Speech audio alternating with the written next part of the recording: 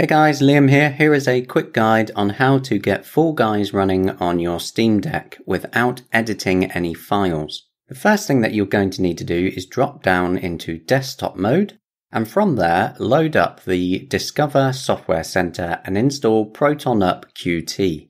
Inside here you will install the latest version of GE Proton which includes a fix to put the easy anti-cheat file in the correct place. When that is downloading, make sure you quit Steam because it needs to reload the Steam Play folder.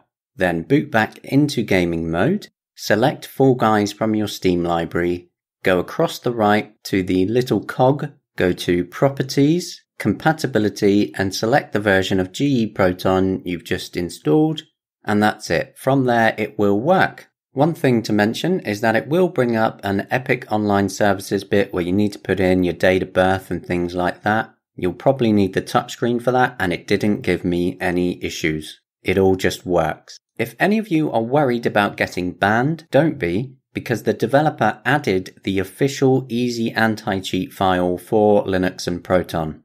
They just haven't put it in the correct place. So now you can enjoy Fall Guys on your Steam Deck at least until they fix it properly. Enjoy! See you in the next video.